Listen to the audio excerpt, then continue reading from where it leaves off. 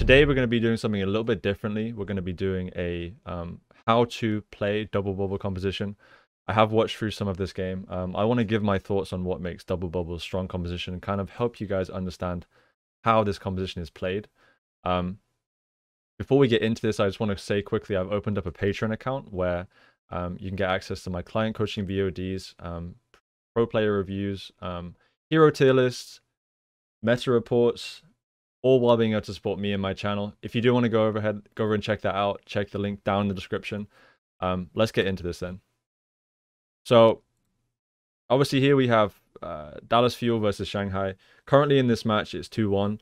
Now, this is a very, very important map um, here because this is Gibraltar, right? Gibraltar is known as a map with a lot of different various high grounds that you can play from.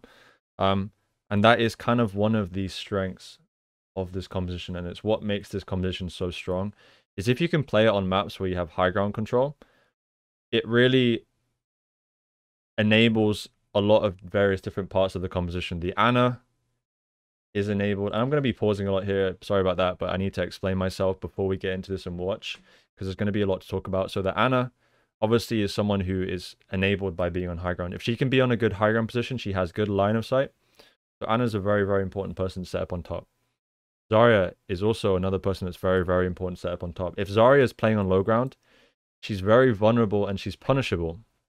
So Zarya also was one of these characters that wants to be on high ground where she can bubble. She has good line of sight with the bubble. And she has that high ground, which is also providing her form of safety. So we see here on Seoul's attack, they've instantly TP'd out onto the left side and they're starting to take the high ground. You can see that two U's on the high ground um, they are playing this with a. They're playing this with a Sombra, and they're playing this with an Echo. Echo and Sombra, um, two DPS that are very flexible in this som in this composition. You're going to see the Sombra playing quite um, defensively. She's going to be playing to just farm EMP, look for hacks, and try and punish people with the hacks. Um, the Echo will also be playing very defensively. She's Echo's just going to be playing defensively, trying to farm that uh, clone, and just trying to control position best she can. As you can see, Profit here is playing this kind of angle here where he's able to just spam the, the DPS of, of Fuel out. Now, one thing we've seen here is we've seen Fearless jump in. So Fearless has jumped in. In this composition, the one of the win conditions is um, enabling your Zarya. So the way that you enable Zarya in this composition is, is by um, your Winston going in, farming energy for the Zarya, but mostly trying to survive and get out. Fearless is going in to first farm, farm his Primal, and also to give energy towards Hanbin. Now the problem here is that I believe uh, Fearless went in, and I think he got booped away. And, and now the thing is with him committing his leap on the engage here is that he now has no way of getting out here. So any boop that comes onto him, he might potentially get punished. Um, so I don't particularly like this jump by Fearless because it's just too aggressive. Like I want to see Fearless dropping down from positions, trying to farm his primal there, um, and then you saving his leap where he can jump back. Um, so one win condition, like I said, is is getting your Zarya high energy and also farming that that primal. Now Fearless goes very aggressive, which really opens up the top of the position, the top of the map here for for Seoul to start taking this this position.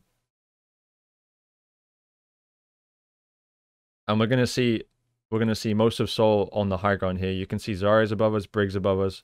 Um, Winston's also Winston's now pushing payload, but Seoul have rotated now around and they've taken inside of this server room. So the reason being is this this is a very very good position for for um, creative.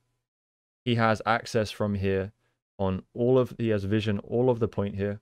Um, and this is also a very good position where um, Anamo can peel really nicely inside this room.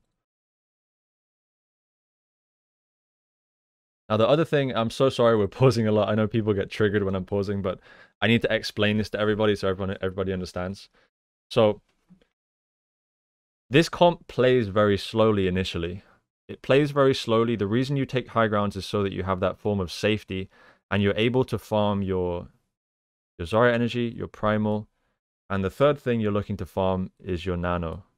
This composition is all about playing off your win conditions. The win conditions are mostly playing slow until you get certain ults. And once you get those certain ults, that's when you can be aggressive. That's when you can go forward. So what we're going to see from both teams here is they're going to be looking to farm their nano. They're going to be looking to farm their primal. They're going to be looking to farm their Zarya energy. Once they get any of these three things, we're going to see them go very, very aggressively and get, sometimes give up their high ground position just to go forward and into them.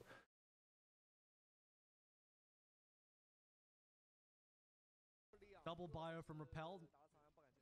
I don't think Repel's played poorly. I'm, I'm going to be real. And here we see Repel's getting pretty close to a nano here. So we are going to see, uh, we're going to see Fuel go pretty aggressive soon. Nano coming up in five. They have Nano now. We get the Nano. Fearless goes in. Really, really nice sleep there from from creative. And and Repel gets a nice sleep as well onto Fitz. Someone oh, someone woke up Fearless. And you see how um when when Dallas got that nano, they all just went forward aggressive. Like even the Ana's there, even the Briggs there. People everyone's just following up. This composition plays this composition plays very like brawly. Um you're playing high grounds until you farm certain ults, and once you get those ults, that's when you're going aggressive. A good hold there from from Dallas. Dallas, even though Fearless went in and died, um, they gave up the space and they were holding further back, and they farmed Nano quicker than than Seoul could. So they get this fight. So that's actually going to give Fuel the defensive win. Fe- Trust me, Fuel need that. So as you can see now, Dallas are putting a high price on this high ground. We see here, Hanbin is on top, Sparkle's on top. Um, I'm assuming that Ana is also on top. They're taking and setting up a lot of people on these high grounds here, where they can start to control this. And now on the side of Seoul, they're gonna have to try and retake this, which is not an easy task. And if we look on the, uh, we look right now, they have quite a few ults available. We got Pulse Bomb, EMP. This is a huge win condition. Um, obviously the EMP is is we all know how strong EMP is. Um, especially when you combo that with uh, a Winston going in, um, and potentially a lot of follow up from this very brawly brawly composition. So Seoul right now have win uh Dallas right now have win conditions because they have certain ults that they can win with. And like I said, this competition is all about playing slow until you farm certain ults. Um, the key ults we want to be looking out for is Primal. Uh, Rally is another one you can go very aggressive with. Uh, Nano, and then as long as your Zarya is high energy, these are kind of the four ults that you're going to go go aggressive with. Obviously, with EMP, you're also going to look to go aggressive and, and, and find a big EMP. Shanghai one. Oh, Fitz has found his, his translocator. He's on 95 though. He takes out. I think Doha's going to be okay, though. Interesting position there from uh, from Doha.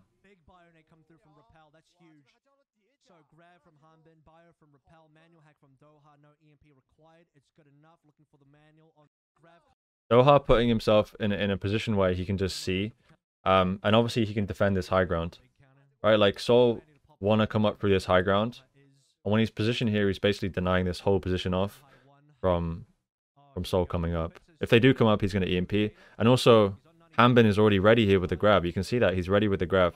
He finds a grab onto the rally, and he hit a nade. This is insane value actually. So they trade grab for rally, and they win the fight. That is absolutely huge. And you can see how much emphasis they're really putting on the high ground here. It's extremely important.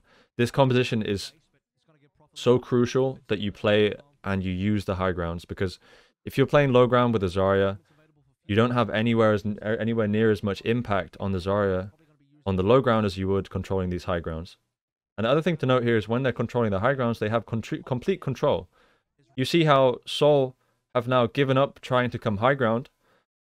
They're walking low ground, and Doha's going in with the EMP. Profits out of here. He was one of I feel like they got bait, kind of baited here though. I think Seoul was just gonna give this one up. I think Seoul not gonna try and fight this. Fitz is waiting for the EMP. Fitz is going to be looking here. One. Fearless is gonna come in now. Has been bio, but is doing fine. Fits with the solid kill. rep- In. And even though the even though Dallas missed the EMP, we can see here they still have a lot of these ults ults online. Um, they still have a lot of these ults online. They have Primal, Nano coming up soon, and Rally. They have so many ults that they can be aggressive with here. So we're, yeah, we are going to see Dallas still go aggressive. It's hard to believe this comp is meta. Um, I'm not saying this composition is meta. I don't I don't think it is going to be meta and played every on every map. I think this composition is is good on specific maps. I want to be clear about that. I think this composition is good on certain maps. For example, maps like Gibraltar where you have high ground control. Um, but I, I don't necessarily think this is going to be meta. One thing to note, this is a very, very difficult composition to play. You need to have a lot of discipline. You need to have a solid understanding of how to play the comp. The comp plays very slowly until you start farming these certain ults. And once you get those ults, that's the go. That's the trigger. That's where you just say, okay, let's get in there. Let's go. Let's let's fight with these ults.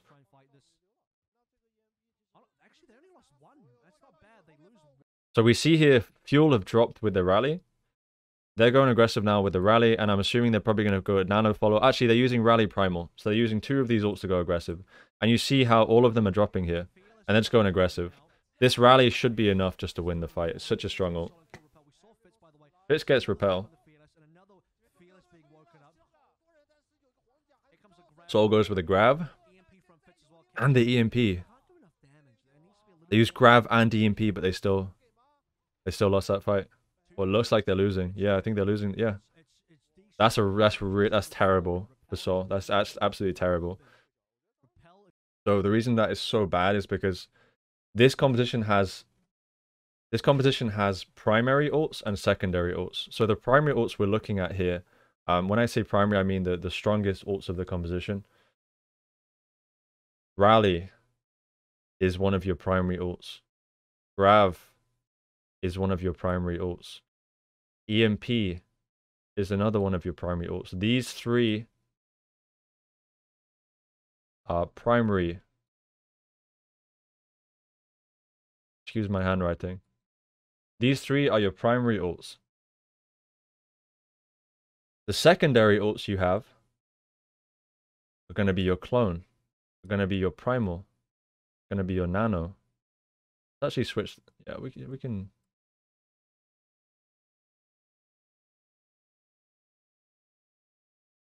So these are going to be your secondary ults.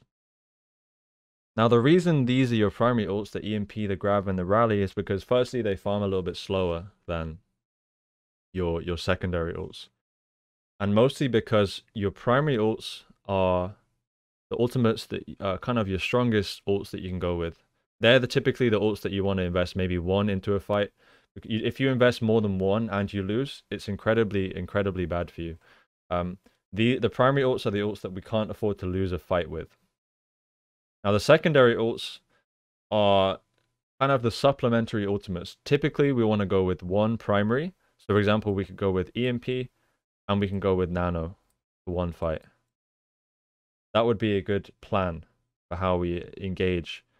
Typically you want to use one primary ult and one secondary ult in this composition, mostly because that enables you to keep a good economy. And if you use more than one of your primaries, for your next fight, you're going to have a problem. So you want to balance it out and make sure that each fight you're planning to use one primary, so either EMP, Grav, or Rally, and one secondary to win the fight. That should be your plan.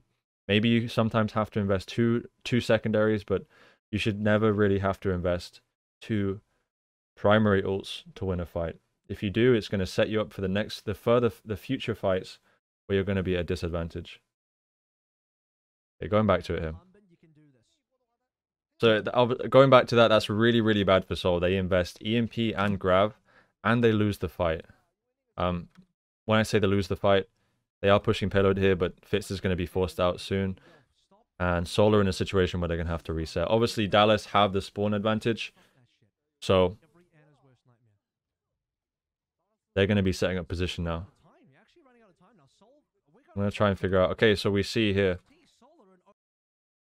Dallas have now set Hanbin up inside inside server. Um, he could have set up, up maybe on, on top here. This would also been good. But I think Dallas are just focusing on controlling the server room and forcing Seoul to try and fight for it. Um, we can see here that Fearless is controlling blue box. This is a good position where he can drop down. Typically, when you see the way you see cooldowns here is the Zarya is positioned in a way where she can bubble when the Winston drops in. This is kind of, again, coming back to the first point I mentioned initially is getting your Zarya energy. The Winston is a big part of this. He's dropping in, farming his primal. Zarya gives the bubble, and I wonder if we can actually see the interaction here when he drops. Fearless might not drop yet. Okay, we're back. No, what's go- no, what's going on? What's going on? Okay, we can't see what's going on. What the hell? Stop. Hey, Profit has used clone. Profit's going in. Fearless has used bubble and he's he's peeling back now. I'm assuming he Hanbin's already given bubble. Yeah, Hanbin's pretty charged. Gesture asleep again. Gesture asleep by Repel. Graviton coming through. I think does Dallas win? Wow, does Dallas win? I, I mean, if we go back to this fight, Dallas just had the ult advantage there, right? Like if we look at that, 90... What's going on? What's going on? they had a good amount of ults to work with here. Yeah, they got they have Grav, EMP coming up soon, and Nano and Pulse. And this is this goes back to the previous fight. This is why Running out of time. You're actually running out of time now. Seoul. this is really why um Seoul are in OT. What have we just spent four why Seoul Seoul struggled so much this fight is because they didn't have any ults to work with really. Uh. I mean, they have have Echo Clone, but like I said, Echo Clone is not a primary ult. Echo Clone is not an ult you uh, can expect to consistently win a fight with. You know, it's good for disruption, Gesture asleep again. Gesture asleep but as you can see, Graviton coming through. you'll have one primary, which is the Grav, and then they also have an EMP as a follow-up. But the EMP is not even really needed. And I mean, Jexay dies just before. Ano's get getting zoned off with the by Primal. Anamo doesn't really get too much value from Rowdy there. And Seoul hold. Uh, Dallas hold. And I, I think partly because of a good hold from uh, a really good hold from from Dallas.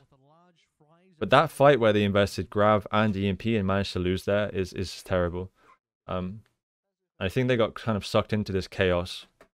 They got sucked into the, the, the fuel's chaos when they were fighting down there. So again, that was pretty quick. We're probably going to see the same thing from from Fuel on their attack now. They're going to focus on taking high grounds, and we're going to see the same from from Seoul.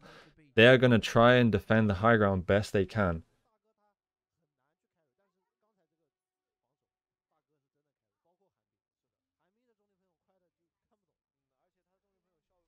did a couple in and out. Dallas t- TPing across again.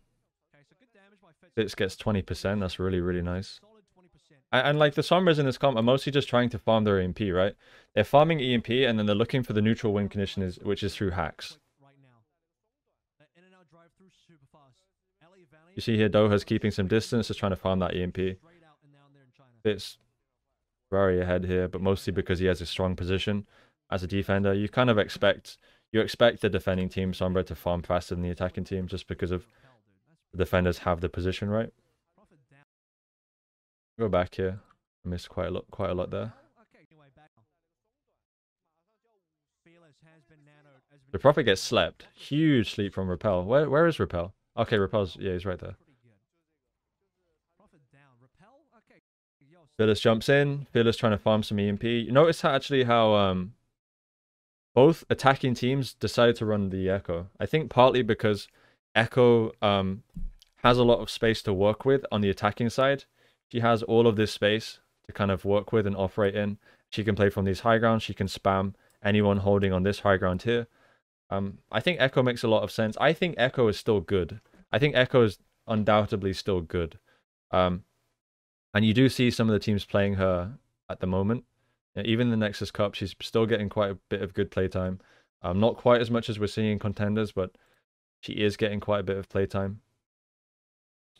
Um, on the side of the defending team here, it kind of makes more sense, right? Because she has less room and space to operate with on this defending side because of the the the cliff um, roof above where Fitz is now. It's a bit a bit lower, so she's not able to get as much space um, for spamming and farming that that clone. And we see because of that pick onto profit, Seoul have to give up so much space here, which is really really bad. Um, like I've said many times here, this composition relies on having position, and when they lose one, naturally Seoul had to give up space here and, and, and concede that space, which is, is just terrible for them. Because um, we can see here that, that Hanbin is set up in a really nice position. Hanbin starting to walk across. They're st starting to try and take position. And again here, Dallas are faster to farm this nano, which is one of the key engaged uh, cooldowns. None of these teams are engaging unless they have a certain ult. Fitz does is getting close to EMP, but because Dallas have that nano so quickly, they're just gonna go quickly here. They're gonna go in aggressive with this this nano. And you can see Fearless just needs just goes ham when he has that nano. There's nothing that they can really do to stop him. He just manages to get away. I say that, and they get a hack and almost manage to punish him. But he farmed, look how much uh, of his primal he's farmed there. He's farmed like almost 45%. Seoul actually cutting back really nicely there.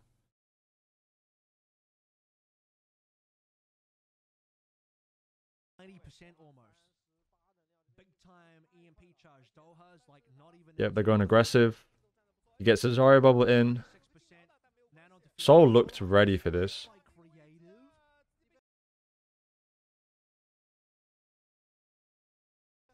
But did I also miss that? Was the was the Brig in there as well? Yeah, Brig was in there, I think, right? Like Brig was in there aggressive. Who is that? Oh, okay, that was that was uh Doha slept. I think Jexay must have gotten picked off here on his way in.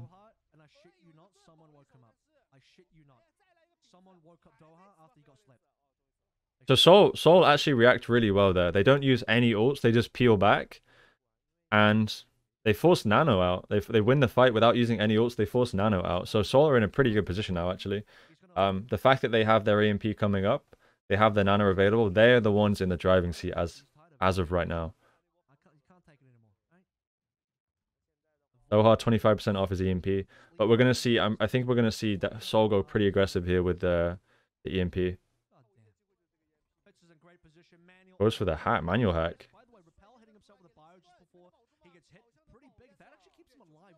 Wow, okay. Wow. Okay, I think... I think they're trying to be greedy here, actually. I think they're trying to be really greedy. They go for a manual hack. You see, Gesture gets the bubble in.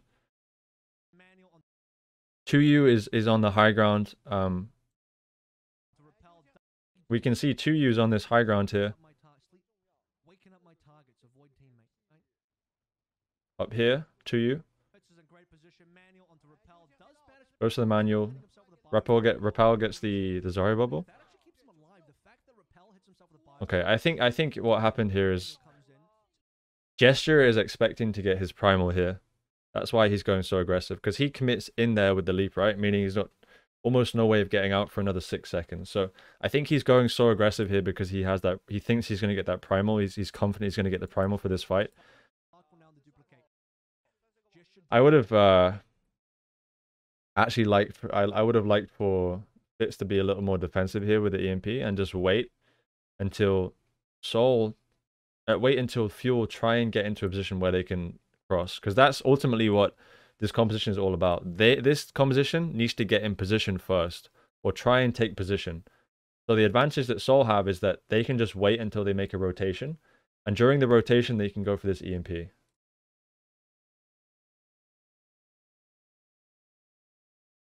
Dallas split off a lot there. Goes for the EMP, gets a huge EMP, and there's a pulse bomb to finish off. It's all looking pretty good actually right now. It's all looking pretty good. I, I, I feel like this play was a little bit greedy. Them not using anything there. Just going to try and force ults and then going with the primal. But Sparkle goes with a clone. As we can see here, Fitz is waiting. Do you have Rally. They also go with Rally. Fuel have no option. They need to win this fight, right? Uh, sorry, Seoul have no option. They need to win this fight. Jexay. So they look at. Oh, okay. Yeah. So we. So we see why they lose, right? So even though. Even though Seoul win this fight, look at how much they used. one primary, two primary, three primary, one secondary. They use three primary ults and one secondary ult. And so on the side of Fuel now, they're just going to be happy with this because they have one primary coming up, two primaries coming up, and one primary already available. So really, really poor ult economy there from Seoul. I think that's probably going to be why they might end up losing this now. They need to pull out a miracle here, an absolute miracle to win this now.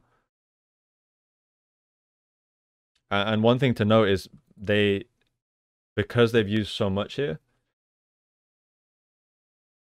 because Fuel have so much, their Fuel doesn't even need to care about position that uh, that much anymore because they have Rally to engage, they have EMP. So if if Dynasty drop and try and fight them,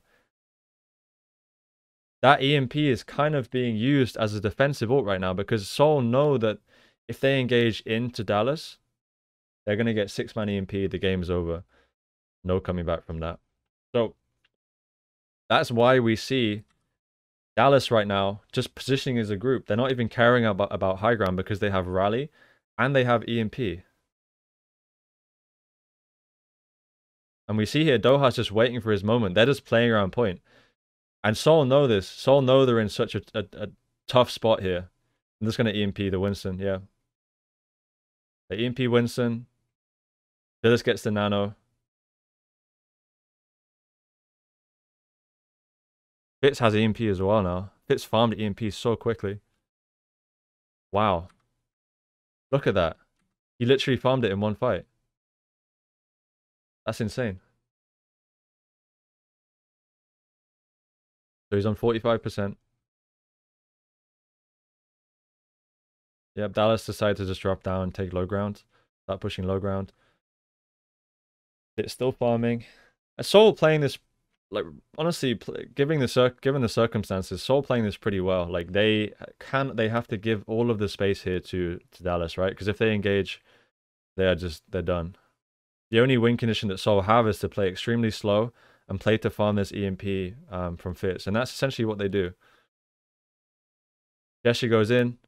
As Gesture goes in, Fearless goes in. Fearless gets the bubble. EMP comes in from Seoul as well.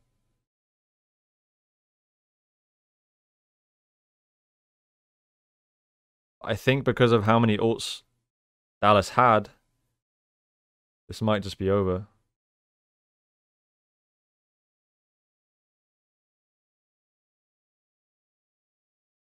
Buckle gets a pick. There we go. So, so both teams looking pretty good. I think overall Seoul, they kind of whiffed there on the ult economy on this fight where they invested where they invested when they invested uh, EMP, Grav, Rally, and Pulse. This was the fight that really cost Seoul. Um, to give credit to Seoul, though, they played this fight quite well. They played to try and survive. They played to their win condition, right? They knew that Dallas had the win condition of just playing around point with the rally, playing around point with the EMP, and just pushing this pillar. They kind of use this EMP as a range where if anyone comes into that range and, and if if Seoul try and engage into that, they just die. So I like I like the way that I like the way that Seoul played this, but unfortunately when there's this many ults on the board from from Dallas, it's always going to be a tall order to win here. Um, but overall,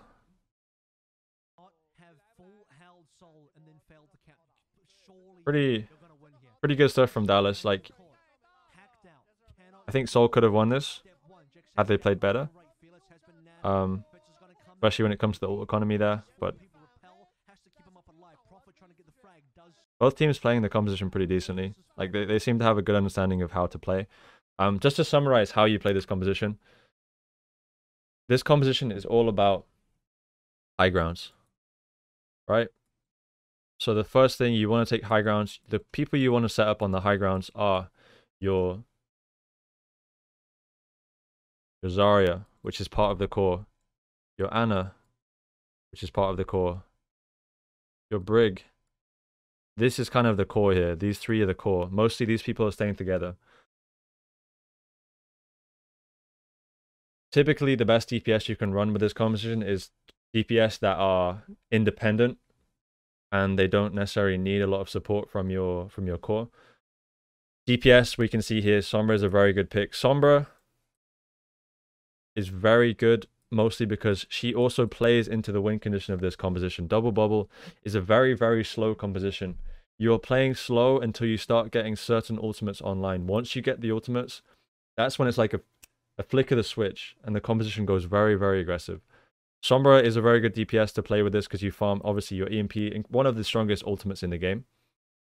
Uh, and you can also pair that with something like a Tracer or an Echo. Echo is also very good. Um, I think the clone is really, really nice. You can go for like double Winston primal engages, which can be unbearable to deal with. Now, the win conditions of this composition, like I mentioned a couple of times,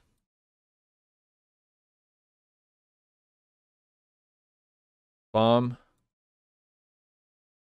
your Zarya energy. You need energy on Zarya for this composition to work. Zarya is kind of one of the centerpieces of this composition, and your Zarya needs to have energy. The reason you're positioning your Zarya on the high ground is so that you have that safety of being able to use bubble if you're taking damage, and then obviously if you're on the high ground, you're a lot more, you're a lot less vulnerable, right? Because high ground, basically, you have a lot more um, defensive options for cover and you can avoid the enemies. Um, you're not as exposed as being on low grounds. So your win conditions farm your your Zarya energy, and the way you can do this is Winston dropping in, getting the bubble, and then Winston getting out. This leads me leads me to my second point. Farm your primal. Farming your primal is important because this is one of your key secondary ultimates that you can use to be aggressive and go forward into the enemy team. Um, so farming your primal is also very, very important. And so good synergy be between your Winston and Zarya is going to be important. Your, your Winston is not diving here. He's not diving. That's the key thing I want to mention. He's never diving in. He's mostly dropping down and pressuring, zapping, and then he's jumping back with the bubble. Okay? as we mentioned, this composition is all about taking high ground. So typically you're going to have your Ana positioned on high ground, your Zaryas maybe going to be going to be on blue box. Um, what we saw most of the time here was the teams were trying to control um, inside server room. This is mostly so that the attacking team could not rate, rotate into so, uh, rotate into server room and take server. Um, so we see here like the, the Zarya would be playing here, and they would be looking to pressure and be aggressive when the enemies try to take this position. Obviously, the Winston the way that Winston gets energy, he plays in a position where he can typically drop down. He will get the Zarya bubble. He'll play. To, he'll zap. He'll zap. He'll zap. He will jump out once the, the Zarya bubble is cleansed, and that achieves two things. It farms your nano, it farms your primal, three things, and it farms your your Zarya energy. So that's one of the one of the ways you do this. Um, this comp is all about playing to farm those. Now, when you have those ults aggressively, you can look to start grouping up together as a team and going aggressive forward. Obviously, with the nano. Um, but typically, if you can use the high grounds, this is very good. Um, we saw the defensive Seoul. They went aggressive here. The Winston jumped in. They had the Sombra in the back. And they were attacking like this, right? In a position where the Zarya can bubble in. The Zarya can bubble someone in and they have Ana has line of sight onto the dive. Ana can obviously look for the nades. This is a very, very good situation to, to be engaging. So mostly this composition is, is pretty much a heavy, heavy ult composition. You play very slow initially. You play to build those ultimates. Once you have those ults available, that's when you look to go more aggressive. That's when you can look to death ball and, and engage in. Um, make sure that when you go for, when you make a plan for the fight, try not to use more than two primary ults. If you use more than two primary ults, you're going to run into the same problems that Seoul had. If you invest too many primary ults, you're going to have you're going to probably win the fight, but the next fight is going to be very, very tough for you. So try and go with one primary, one to two secondaries, and then you're going to set up a good economy for the first, second, third, and fourth fight. And you're going to be able to rotate. One of the strengths of this composition is if you do start getting your economy online and you do manage to rotate properly, you're going to be relatively unstoppable if you're on these high grounds. Um, yeah, I think that was most mostly like everything about this composition. Um, it to recap, high grounds, play slow until you farm ults. Once you farm the ults, that's when you can look to pull the trigger and go very aggressively. Um, try not to invest more than two primary ults. If you invest more than two, you're going to have a very, very tough second, third, fourth fight because you're then behind on the ult economy. So one primary, one to two secondaries, and be aggressive when you have the ults. If you don't have ults, play slow, control the high grounds, focus on controlling the top, like to farm your, your ults.